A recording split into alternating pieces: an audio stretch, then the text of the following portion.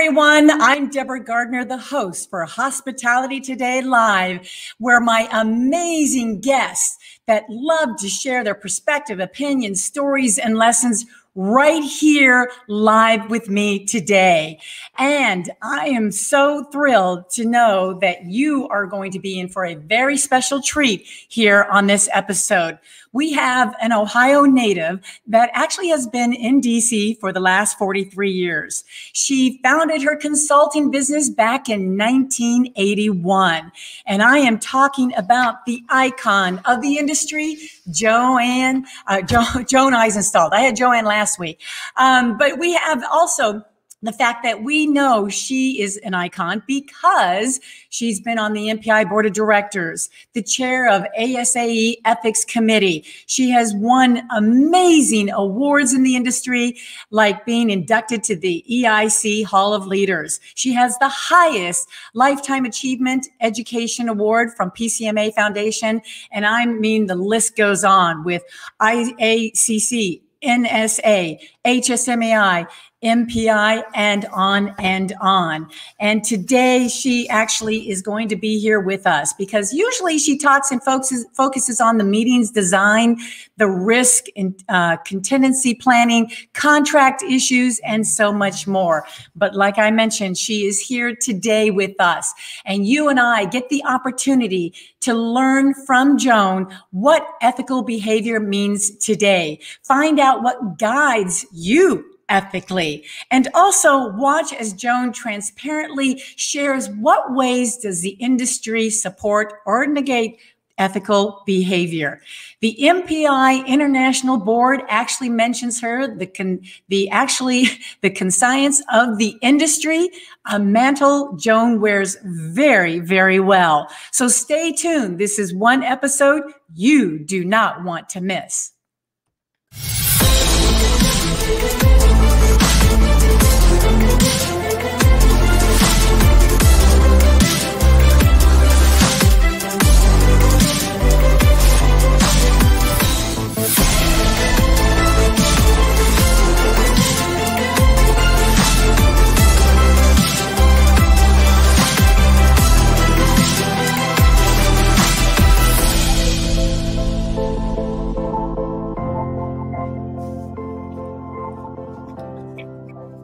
Today is Tuesday, March 2nd, and this episode is actually sponsored by Versator. Let the site tour come to you, versator.com. Well, ladies and gentlemen, I'm here to introduce to you the one and only Joan Eisenstodt, who is in the house. You're so funny. Um, thank you for that. I, you know, you're here.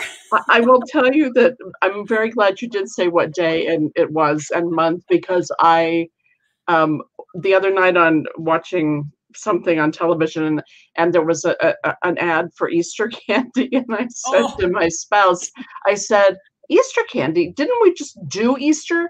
And, and and I realize it's a new year. We did yes. Easter. We're still in the sort of same place we were. Um, so thank you for that. Um, thanks. Thank you for having me and, and talking today about what for many is not a sexy subject. yeah, no kidding, right? But before we get into this, because this hour is going to go so fast with you, with all this information, um, we know we are stuck. We are in a, a, a definitely um, ill will type of situation with the industry right now. And I just saw that even this morning, the US Department of Labor um, mentioned the updated version of the meetings industry or the hospitality industry in general of 5.5 million jobs have just disappeared. Mm-hmm. And yet we we're hoping that, you know, things will turn around faster than they need to, but we don't know if that's going to happen or not. We know last Thursday uh, there was a bipartisan bill to help jolt the industry was introduced to the Senate floor. But but how fast is this really going to turn around? What's your perspective and opinion of what's been going on, Joan? You know, it's interesting, Deborah, and and I think as we talk today, it's there will be there are ethical implications around all that's happened um, with as a result of COVID, as a result of job loss, as a result of um, what we're having to deal with. Um, I I don't have a good prediction. I think that people have been um, have been hopeful. I think that they are, um, and some groups are in fact meeting physically together.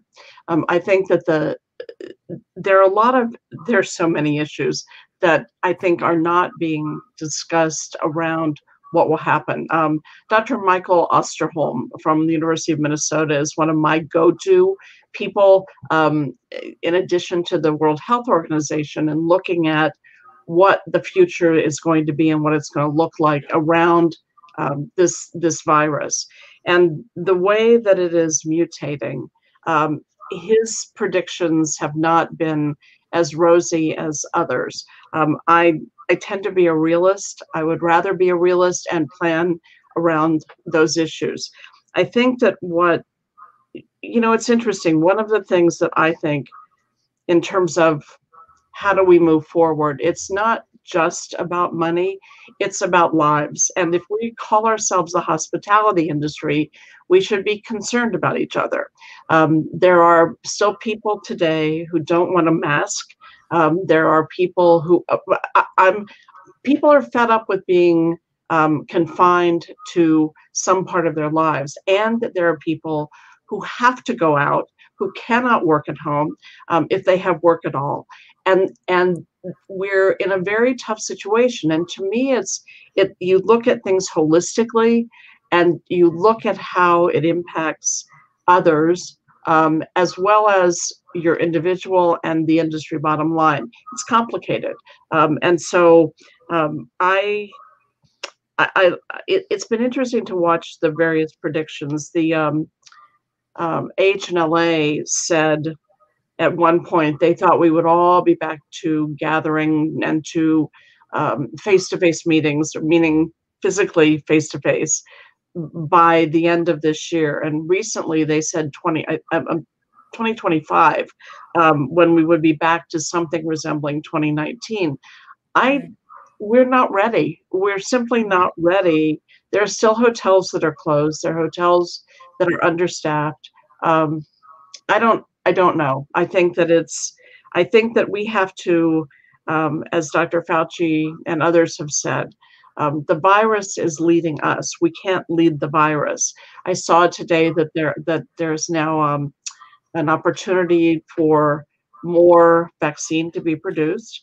And I think that's great. For a lot of us, it's getting the vaccination that has become problematic. So um, it was a very long winded answer to yeah. the question. I don't think that there is any, there's no simplicity to any of this. No, there really isn't, and and it's it's interesting that you say this because this is the first time I'm hearing that you know somebody actually is is is sharing the realistic side of things. We want to be hopeful. Um, we want things to turn around, and we hear leakage of some in face meetings happening. Um, but is it really the in face? Um, I mean, already we lost a half a million dollars just you know just what's been happening the last year and that's 10 times the negative economic impact of 9-11 and that, right. that's what us travel was telling us and and yet we we keep trying to push ourselves back, you know, to the meetings. As a matter of fact, uh, Sherrif, um, the you know who's the head of PCMA, I remember him saying back a, a year ago, saying, you know, we're not rushing to meet, we're rushing to educate, and he's right. He's right. We shouldn't be rushing back to in person until we're able to do this right. Yeah, and in a year we have lost. We're up to over 515 thousand or million, sorry, 550 million people. And um, in the D, I live in Washington D.C. Right. and in the D.C. area, so D.C., Maryland, Virginia, we're we've now gone over a million cases um, of COVID, and and now there isn't as much testing. People are instead trying to get a vaccine. So we really don't know now what the number of cases are. I know that some of the industry said there may have been that many deaths and let's look at all the recovery. And then if we look at recovery, we also have to look at the people who are what they call long haulers, um, right. um, the people who have symptoms that don't seem to go away. And I, I saw last night that um, there's, uh, uh, I think, I forget how many billions of dollars is now going into research on the long haulers um, and what their what the impact is on them and what the impact will be on the future of work. So all of this impacts everything we do in the meetings and hospitality industry. Yeah. And and yeah. I and I need to do something because um, because I know best to do this for my friends yes. the lawyers. I don't want to do a disclaimer um, yes. that everything I'm saying is my opinion. It's based right. on reading. It's based on experience. Um, and anything I say that sounds like it's advice on how you should behave um, is purely my opinion, not to be taken as legal advice. Always contact your lawyer or other um, right. paid professional. So right, right, right. But you know what? You've been in the industry longer than most, and uh, and just such your your brilliancy has always been uh, spot on. So I know that we need to take to heart to what you say and what you what you think because you've been there, done that, and and yet we keep thinking that you know every time the industry gets back up and running, which we were i mean we were like 120 months in a row of just living the dream in the hospitality industry and all of a sudden this happens. But yet as i mentioned before this is not our first rodeo. We've been through this before with 9-11 sars and ebola and everything.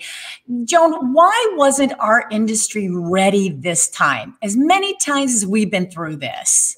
I i, I want to take it a different step. Um, and and because we're in s because we are going to talk more about ethics specifically. I want to bring an ethical piece into this. Um, I think two things. I think that I, I don't, I can't explain why we weren't ready. I think that there is a tendency.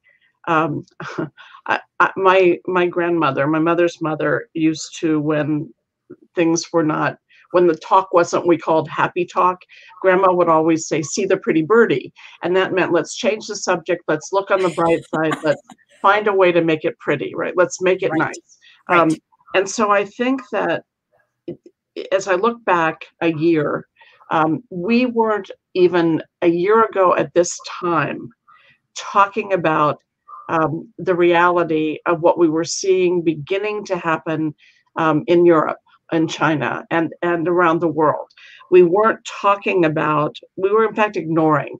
Um, I remember posting information because I was listening to the WHO press briefings, and they um, they were giving good advice. For example, I remember you, you remember those moments in time. Um, I remember when Dr. Michael Ryan of WHO said about it must have been the first week of February of 2020. And someone asked him about a telecom meeting that was to happen in Barcelona the following week. And I remember his words. He said, Well, at this point, we think you should plan the same way you would for any risk, for any event. And I sat there and I'm shaking my head at the screen and talking back to him. Of course, he can't hear me. And I'm saying, but people don't write contingency plans for their meetings. You mentioned earlier that I that I work in contingency yes. and risk. Yes. To me, the reason it's it's an and, and this will, I'll go back in a second to why we weren't prepared and why we didn't prepare for a long time. To me, there's an ethical component. To me, being ethical is how you treat others. It's caring for others. It's understanding that it's not just about you.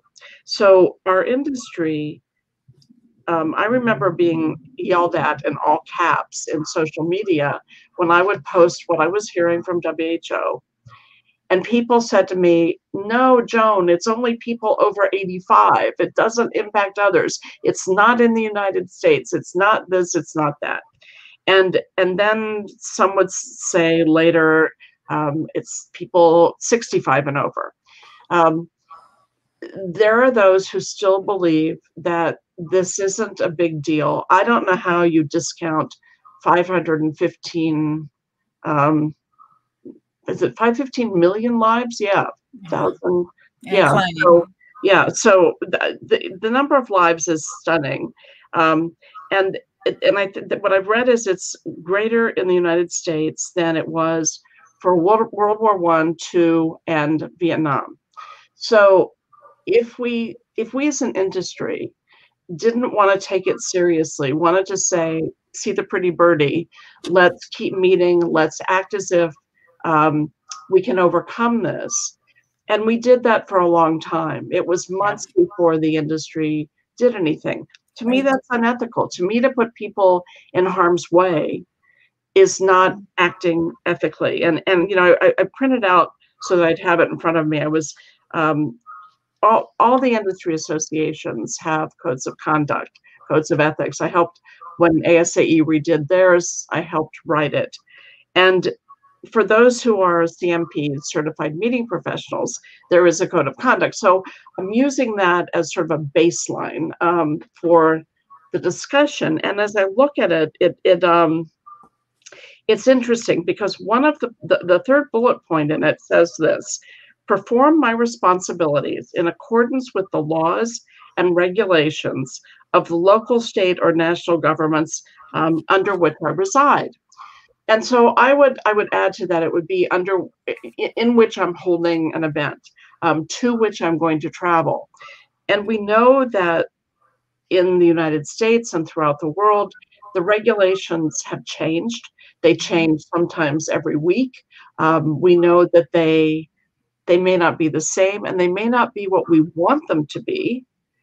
And yet, as a responsible industry practitioner, I think that we have an obligation to understand what the risks are, to prepare for risks. And, you know, that's the other thing, Deborah, that's interesting. When you asked, why were we not prepared? Once the industry as a whole decided that we would be prepared, I guess, they the only thing that was done was around cleaning. It was let's make all the surfaces clean. Let's um, there wasn't as much emphasis on distancing or on masking. It was let's clean surfaces. It was why we none of us could could find Clorox wipes. right. I'm not promoting a brand, but as an example. And so I think that um, I think that you know friends always say follow the money. I, mm-hmm. Really, there is a financial impact on the industry. I mean, obviously, we the number of meetings that have canceled, the the room nights that have canceled, the people who aren't traveling, it has devastated yeah. the industry, and that gets back to it devastated people. Right. Um, it's devastated communities. So right. I um, I don't know. I can't answer for others. Mm-hmm. I was prepared. I had conversations with others about this. I posted information. Um, and to this day, there are still people who think that everything is fine and that we don't need to mask. Um, there's a there's been a, a lot of discussion in industry groups about a meeting that um, just occurred in Florida. And it was heartbreaking to me that when the participants, the hotel policy was to wear a mask and uh, meaning everybody, their, their staff, as well as anybody in the hotel, vendors, participants in an event. And at this event, it was reported that the audience booed when when they were told to mask. Hmm. It was reported by the hotel that when their staff told the participants in this meeting to wear a mask, that they were treat the the the, uh, the staff of the hotel were um, were hmm. yelled at and and hmm. criticized for telling people what to do and i'm thinking where's the respect for others that to me again to me it's ethical to respect um, the health and safety of other people right and it's like you know if you go into a restaurant and there's a sign that says no shoes no shirt no service we don't balk over that but when it has to do something as as updated as a mask we're balking at it and people need to get on the same page about this and respect what others you know want them to do when you go into their territory or their building. So yeah i think we're gonna that's not probably gonna be the last time we're gonna hear that or, or a sim- similar situation like that because people are are still trying to adjust um, and pivot and adapt and whatever other words there are to this new this now normal that we're going through. And i'm sure we're gonna have some people hop on today's show to comment um, what you are, are sharing and asking questions. As a matter of fact, we've got the one and only David Kliman, who uh, gave us some top, the, the, actual updated numbers for the US yeah, um, of 515,000 yeah, uh, deaths. Yeah. So thank you, David. We really appreciate that. Yeah, I, the, reason, the reason I was thinking millions, David, and others is because I, I well, look daily at the worldwide total as well as the the U.S. totals mm-hmm. and my local totals and where they're going. And um, mm-hmm. what they know now is hospitalizations are down, um, which is good. It, it's for the healthcare workers especially. It's good. Right. Um, it also is good for all of those um, who need cancer treatment and other right. who weren't able to get it during all of um, all of the hospitalizations. So I yeah. think that that to me it's it's a huge issue, and I think that um, as we talk, I think that that's part of it.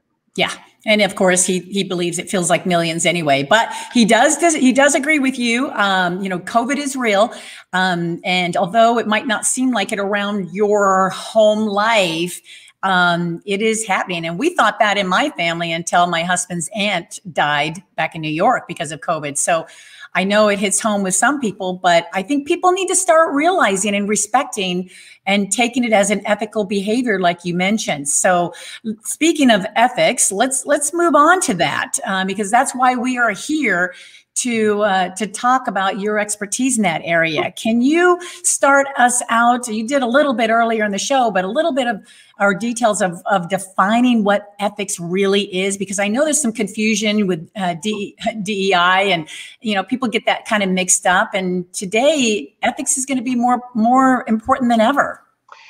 So th- there are definitions, and I chose one that I will read um, because it's a simple one. It's short, and it says a set of standards um, of con- a set of standards of conduct that guide decisions and actions based on duties derived from core values, and that comes from a, um, a, a book. Um, you can look up what um, ethics means in a lot of different ways.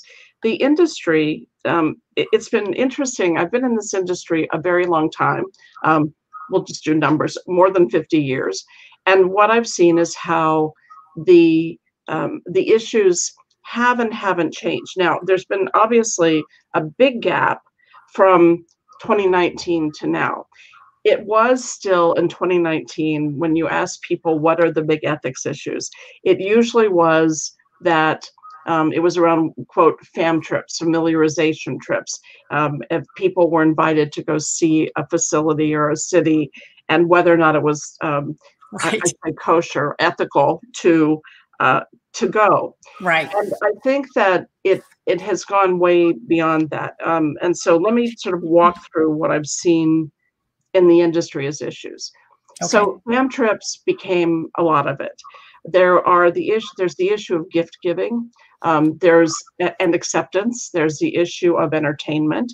Um, I saw in one year two clients that fired um, their directors of meetings, both of whom were CMPs, who um, who behaved in not only what in violating the ethical um, the ethical standards, the ethical statements of their employers, they also violated in spirit and in fact the CMP code of ethics. Um, early on, and David will certainly remember this as will others, MPI had one of, I would call the, um, I was trying to think of the right word. I don't want to say strict, strong, um, most detailed ethics policies there was. And there was a committee that if you believed that if someone had violated um, one of those standards, that you could report that um, and then they would investigate, and they, a person could lose their um, their membership in, in MPI. In today's world with CMP, a person who has a CMP can be reported to the CMP board, and they will investigate what happens. Now, what hap- what's interesting is that there is a lot of wiggle room in what people perceive as ethical. So let's look at entertainment. Um, and let's look at the, the, the lines that are crossed in doing business and friendships. Um, a lot of us, um, you and I, for example, know each other because of the industry. Right. I would say that some of my best friends are people that I that I made through the industry, and a lot of them are people that we consider suppliers. It would be very would have been, and this is what happened in the case of um, one of actually both of the clients, um, people who plan meetings or directors. Um, it it is very it, it's very easy when you're friends with someone to talk about what's going on in your life how th- tough things are and then to say in passing maybe innocently i am so tired i've been working so many hours you know i've got this big meeting coming up on and on and on right all this stuff that's going on and for the supplier to then say um, gosh, wouldn't I bet you would love an opportunity to come stay at our hotel and use the spa? Okay. Right. And the planner says, wow, that would be so great. And then the supplier begins to make the offer firm. So what what we've seen in the industry is we've gone from these um, these codes that MPI had, um, and not just MPI, ASAE, everybody else had them. SGMP, Society of Government Meeting Professionals, still has an enforceable code, I believe. If I'm wrong, I hope somebody lets me know that. And most of them are what we call aspirational. Um, and I always describe that as meaning I really, really want to be ethical, but oh well, I don't have to be because nothing's going to happen if I'm not. And so I think that what we've done um, in an industry that to me has opportunities for stuff, for um, doing nice things for people, and that includes a drawing at a trade show. Um, right. You know, you and I talked about are there stories? Have I got stories yeah. about um, people who um, who who I've seen? You know, when we used to put business cards in a bowl, go right. through those cards and pick out the customer. Um, right. I, I gotten calls over all the years I've been in, in the industry of what do I do? This just happened. And so we have no enforcement. We literally have no enforcement of ethics codes. Um, the worst that can happen if you're a CMP is you have your CMP stripped. If someone reports what you've done, if the CMP board decides you violated the code of ethics, but in reading it, it's not terribly measurable the way that MPI's was before um, MPI developed the principles of professionalism, which includes issues around diversity and inclusion and sustainability. So, if we look at what the industry says are ethical behaviors, what I don't understand and never will is why we aren't why we aren't why aren't we talking about it more? Why do why is this not on the agenda of every PCMA, MPI, everybody's chapter um, yearly at least. My corporate um, planner friends um, and and a lot of suppliers have to take a yearly. Um, uh, I'm going to call it a test online of, um, of on ethical issues. And what's mm-hmm. interesting is that it's pretty obvious what the right answer is. To me, taking a test doesn't doesn't tell you if how you're behaving. It's what you right. do on a daily basis, right? Right. Right. So right. I think that um, the issues may have changed, and and and I know that one of the things you and I wanted to talk about was how they may be changing or changed now because the employment market is so bad and right. people have no money. So um, is that okay if I go into that? Because yeah, absolutely. And yet, yet I'm I'm sitting here thinking, going, you know, I really feel guilty that I stole that stapler at one of the hotels after I left. You know, but but but at the same time, Ooh. I'm thinking. I only, I didn't even, you know, if I even got caught doing that, I would only gotten a slap on the hand. Maybe well, it's not strict enough. So let me, you know what? Let me let me address that. That's an interesting okay. one. So okay. there, there is, um, I won't name names. There's an industry attorney with whom I presented um, on contracts and on ethics. And when we present on ethics, what's really interesting is that we talk about the the the, the fine line between what's ethical and legal. Right. One of the exercises we do, and, and I do independently, is um, you see someone in an office or let's say at a hotel um, taking something, right? They, you know, the staff office was equipped with whatever it was, the stapler, right. a copier, whatever it might be. Right. And someone decides to leave with whatever they leave with. Um, and so what we always hear, always hear, that it depends on the value. So if I, t- if let's say that I'm in an MPI chapter, or PCMA or SGMP or anybody, any part of the industry, or let's say that I'm part of a civic organization or a religious group, um, okay. and I'm head of the fundraising committee, and I need to print off some flyers because I want to put them up because not everybody is going to see it online. Right. So I make copies. So the question always comes up how many become unethical? Right. Is it five? Is it 50? Is it 100? Is it if I take a ream of paper and That's... take that out? Do if I wheel out a copier? Um, and so often people believe that you measure ethics by the value of the item, whether it's the um, the, the physical mm. item, the mm. gift you've been given. Some companies, oh, this is interesting too, because some companies say that there is a dollar value on what you can accept, right? So whether it's a meal or right. a gift. Um, right. And so let's say it's fifty dollars, but often what it doesn't say is is it fifty dollars from one supplier or one vendor a year, a month, a day, an hour? Um, it, it's not specific. And so, what this attorney and I talk about is that fine line. And because this person happens, um, is married to a prosecutor, um, they address the issue of what could, in fact, be illegal. Um, and so, I have this thing that I, you know, I, I understand need. I get it. Um, and I think right now there are huge needs for housing and certainly for food. Um, and people don't have it. Um, if I could, if I could do more, I would. And so the question becomes if, let's say, I'm an out of work meeting planner and I am offered um, a week of meals delivered to my home by a supplier friend, and I and I have other people to feed in my home.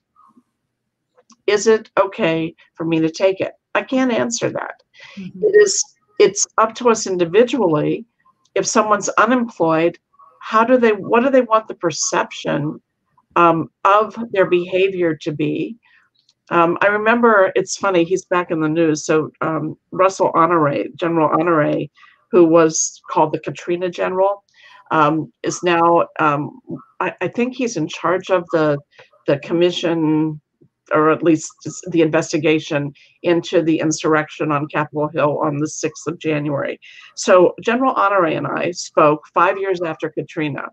Um, I had a wonderful opportunity to interview him and fell totally in love with his thinking. Um, so back to the issue of being prepared. So we talked about the issue of looting after a disaster and what um, the what the ethical implications are of that. Um, we didn't talk about the legal implications, and what we talked about was if you're starving, if your family's starving, if you've just lost your home, if you have nothing, is it ethical right. to take something, to accept right. something?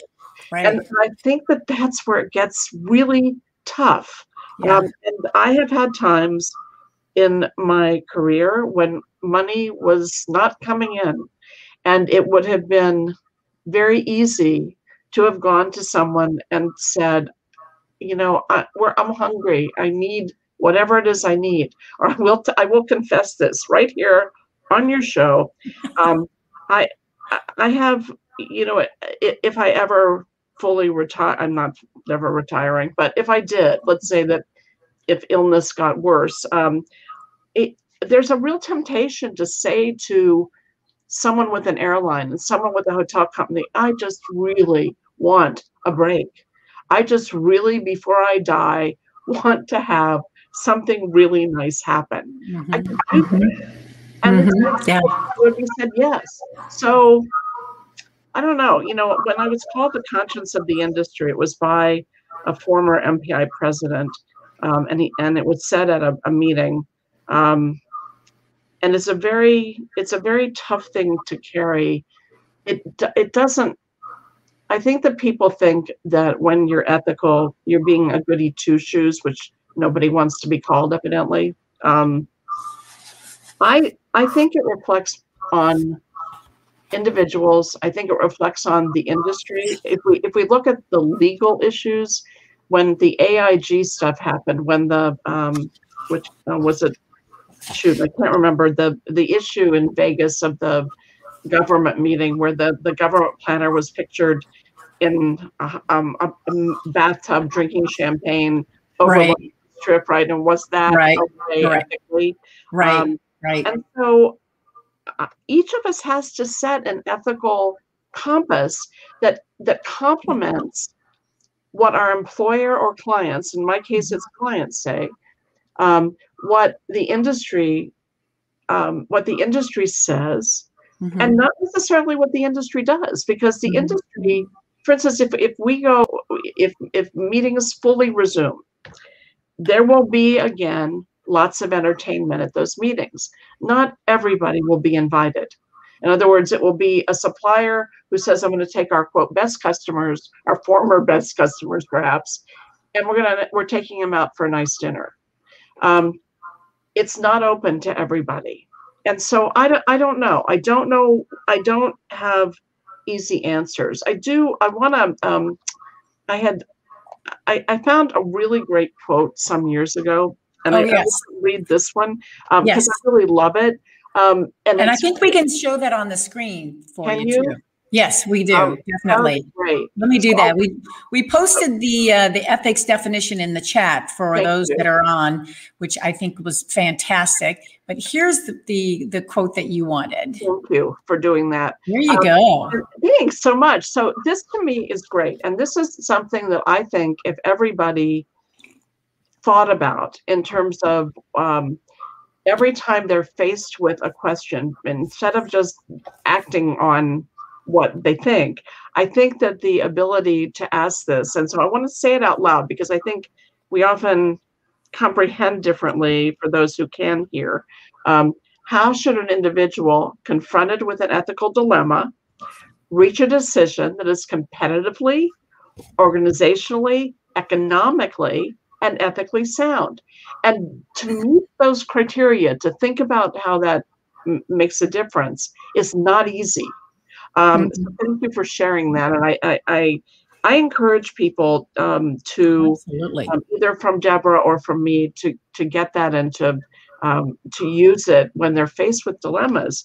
Um, I think that we, I think today, in today's business world, and I think as we resume meetings um, in any fashion, and it's still, we're doing meetings virtually, uh, most everybody I know is, um, there are still dilemmas. And it's not just, you know, I'm thinking about my spouse who's worked for associations. And I remember the first time um, we had a discussion about, um, because of the work um, that they do, he said, um, he was offered tickets to a hockey game. He loves hockey.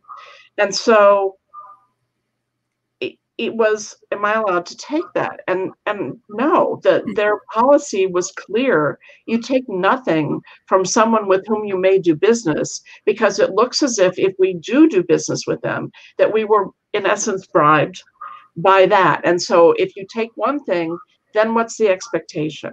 Um, right. And so it goes back again to friendships, right? So if I, um, when you could go out and have a meal with others, um, if I have if I have a meal with someone with whom I'm doing business, um, or potentially going to do business on behalf of clients, do I pay or should they pay? And if they are really a friend, as in we don't just get together because we're doing business, we make a decision that we split my turn, your turn, my turn, your turn. If one of us can't afford it, then the other one assumes that. And there's an agreement that neither of us will put it in for reimbursement for me with a client for the the, the vendor with their company. Um, I won't write it off. Um, it will be a friend meal, and and I, it, you know, you asked me about the experiences, and I'm very good at forgetting really bad stuff. I, I, it's, I it's, it's the way I cope, right? So, um, and we want to forget the bad stuff. we do want to forget the bad stuff. And that said, I think of the things that I've seen people do that I have observed, that I have heard of. Um, I've seen people fired from jobs because of not performing ethically, violating the policies of their companies yeah. or organizations, still get right. other jobs. And no one, because of laws, we can't, someone can't say why um, I always say the industry talks, and there used to be long ago um, that, that, people would say, "Well, you don't want it to appear on the uh, appear on the front page of the paper, right?" And so I still read papers, and I would not want it there. Um, I think that what we don't want is for people to talk about us and to say, "You don't want to do business with that person because all they're going to do is to ask you for stuff. They're going to expect." Um, as mu- quote as much as they can get, whether it's for the meeting as a meeting planner, or whether it's for um, in, in a, a supplier's case for their entity. And again, you know, if we measure the economics of how we do business, how that plays into ethics. Right. It's complicated. Right. Right, right. And uh, we have a couple comments that have come through exactly what you are saying here. One is is from Bob, and and he says, you know, the reality t- it is is that ethics and respect is is not encompassing by U.S. citizens, um, in particular U.S. citizens. We're getting bad about that. Worse, if anything. Well, so let me comment on that, and that's thank you, Bob. That's an interesting comment, and part of it is also in in the beginning of my career, um, we weren't doing as much business internationally. The ethics in the how we behave ethically, ethics policies in the U.S., how we do business in the U.S., is not how business is done in all countries. And in some countries, it is acceptable for money under the table, for bribes to do to do what for me is unethical. For others in other cultures, is considered how business is done. So if I'm doing business with someone from another culture, I need to think about what that means. I don't I don't know that I think that our ethical behavior is any worse today than it was when I started in this industry. Um, I see the same things happening. I see the policies that are aspirational. Um, I see no accountability. I, again, I don't see programs other than this, thank you, um, where we're talking about ethics on a, a, on a regular basis. Um, when I tweeted about the program, I said it's not a sexy topic. I was actually told that when I when I chaired an ethics um, education committee that it yeah. wasn't ethics and diversity weren't sexy um, right. and so um, people don't want to talk about it they don't want to delve into what behavior is appropriate right. and i think we need to uh, we definitely do. And on top of that, um, Visibly Media wanted to ask you how how about online though? I mean, this is all new for being ethical online. Um, yeah, um, and, and, and and extends to um, how we deal with that. I think yeah. culturally as well.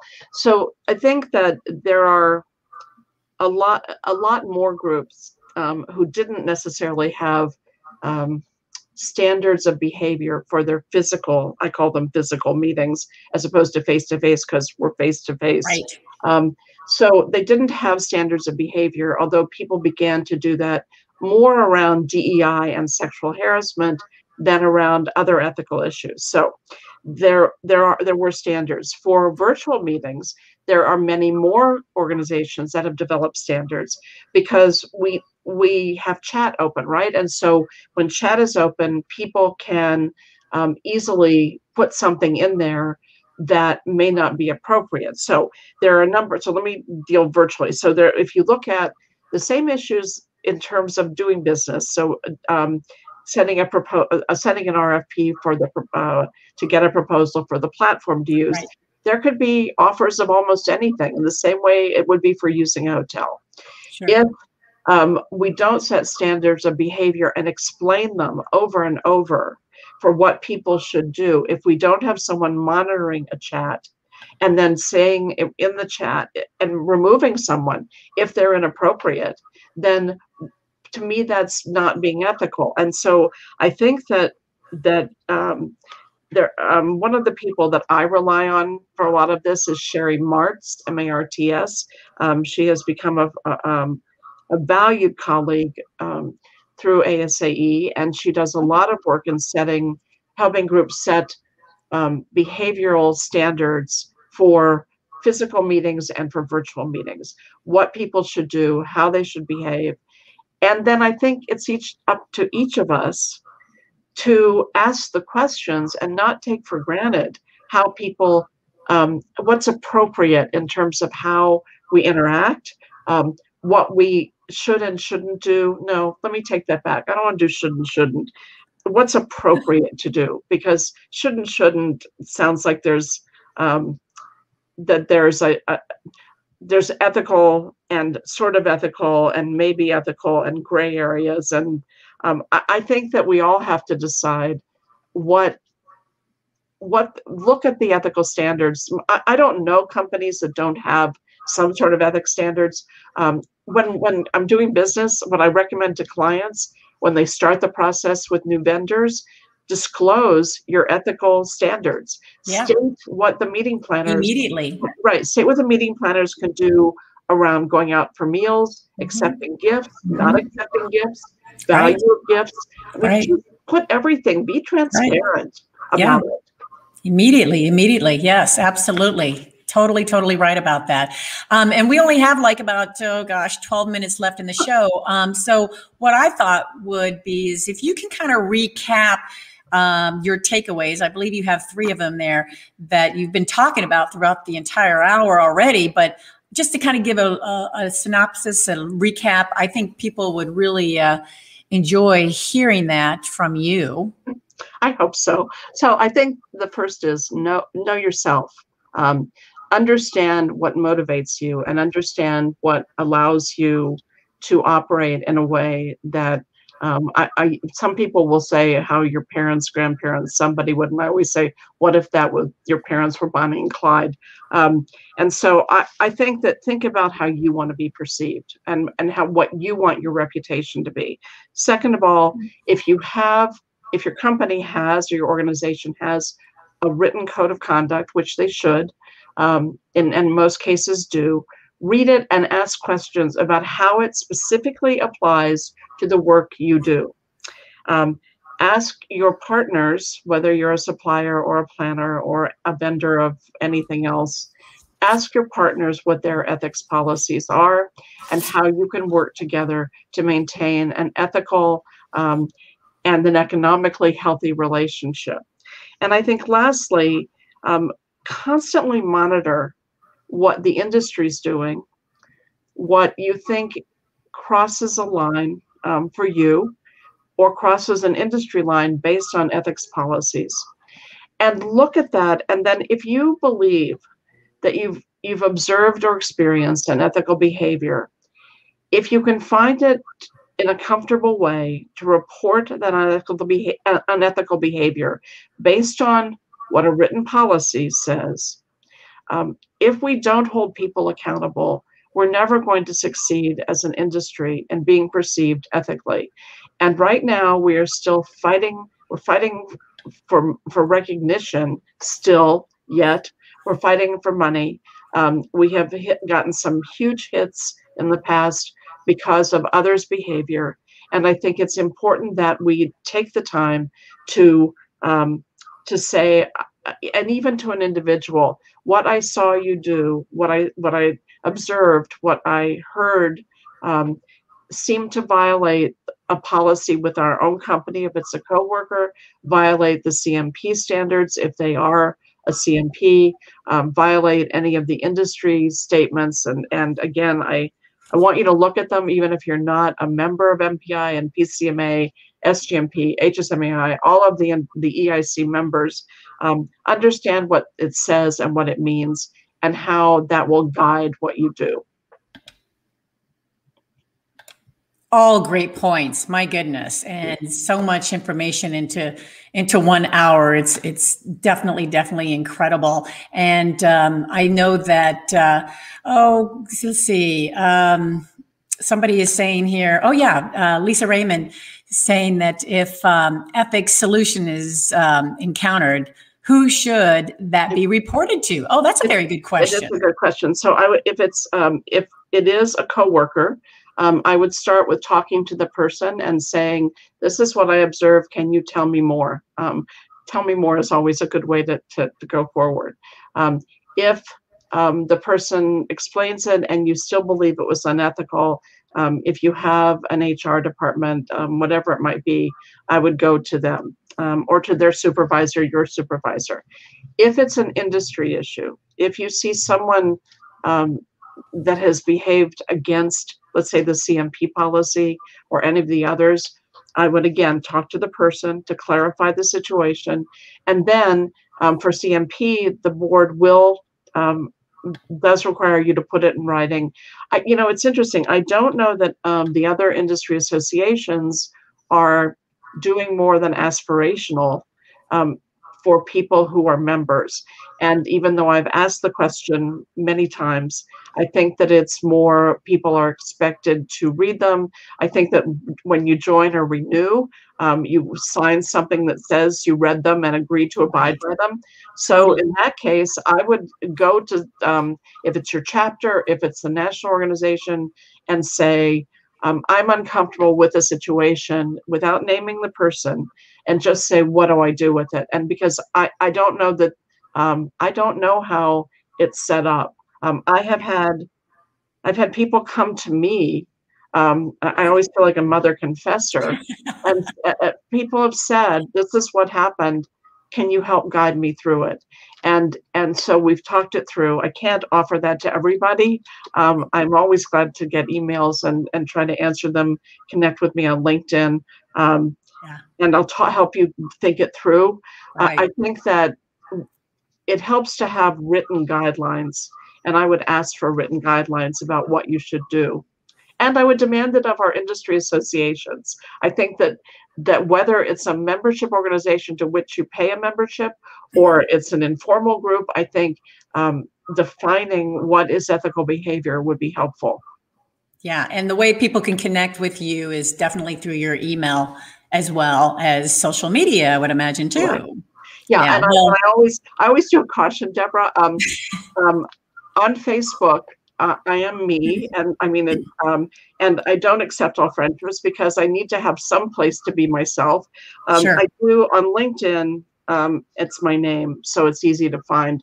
Oh and, yeah, and and I'm always glad to talk to people about all of these issues. I I think that I've always viewed my role in this industry as being an educator and a learner. And, and I think that through helping others, I learn, I see what's going on.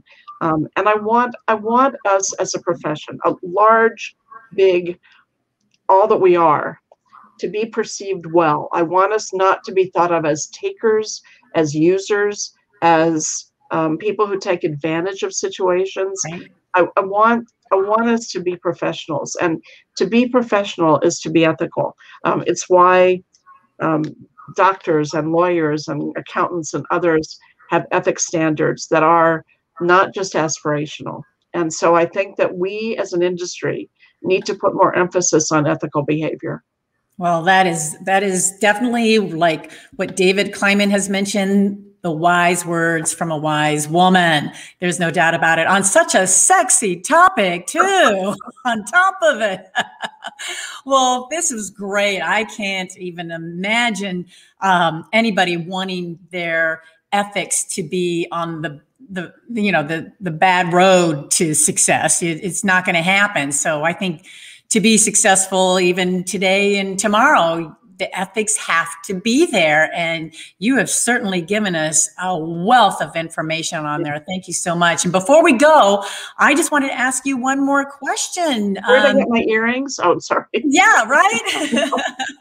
but but really, I you know, what did you learn through this whole time that we've we've been through this. And uh, you know for joan eisenstodt we learned from you but what did you actually learn out there? You mean from covid the whole this from year? the whole oh covid oh year. What was the what, one thing that what really I've learned, gotcha. What i've learned is that everybody's my grandmother and they see the pretty birdie and they want um they want everything to be lovely and it's not. And i think that what i've also learned is there are people i may cry because i get emotional but people like jose andres the chef um, who has literally been feeding the world through world central kitchen. And i see examples like that. And in my own community there are restaurants where people where the restaurant is not taking in much money but they found a way to keep their employer employees employed and they're feeding other people. And so what I've seen is both sides, an incredible generosity and a total um, a total see the pretty birdie. So I think that um, what I've learned is I, I'm glad that I'm me. I'm glad that I'm a realist. I'm glad that I plan for contingencies. I'm glad that I uh, am a learner who delves into issues and understands what goes on. And um, much more than I even share in social media. And so, what I've learned is um, when there is a crisis, when it involves the lives of people, that we have an obligation to others um, to make sure that they remain safe and well. Um, because in the end, um, when travel resumes in full, um, when meetings change um, again, um, yep. to whatever they'll be.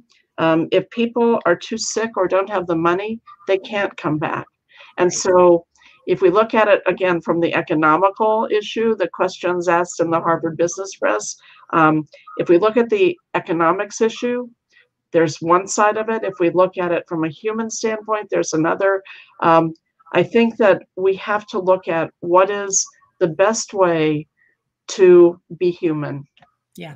Bottom line, great lesson, great lesson, and and I'm glad you like you, and I'm glad you you like to be a realistic. But I tell you what, we liked having you here today. Thank you so so much. Um, gosh, again, the icon in the industry, my good friend, longtime friend, Joan Eisenstodt. Thank you so much Thank for being here with us. I know you're a busy lady, and uh, gosh, I can't wait till we get back to, like you said, physical um, meetings so that we can get back to our hugs and kisses again. So until Thank then, so, we'll stay in touch. Thank you very much. Thank you so much. Wow. I hope that you really enjoyed this conversation with the one and only Joan Eisenstodt. And thank you so much for joining us. And if you did like this conversation, by all means, do share the replays with others um, and also yourself. And uh, hopefully you'll get to listened and see all the in-depth information that she showed because we could have been here for another hour. We also want to thank our sponsor, uh, Versator, for uh, being with us and, and sponsoring this episode as well. And if you have any questions, uh, by all means, uh, reach out to us through our social media links or hello at hospitalitytodaylive.com. Well, we're on a continued roll here. Next up, we have for next Tuesday, Dawn Penfold. Dawn is the owner, founder of Meeting Jobs. And for that, we, what we talked about earlier today, about 5.5 million jobs out disappeared from the hospitality industry. Well, Dawn is responsible for helping us get back to work and finding those jobs. She will share with us what employers are looking for as far as skill sets for today? And are those transferable if you switch industries? And how is the hiring process changed since this pandemic? And so much more that Dawn wants to share with us. So Be with us next Tuesday, same time, same channel. I'm Deborah Gardner. Thank you again for being here. And remember, if you're thinking about it, we're actually talking about it right here on Hospitality Today Live. Have a great week, everybody.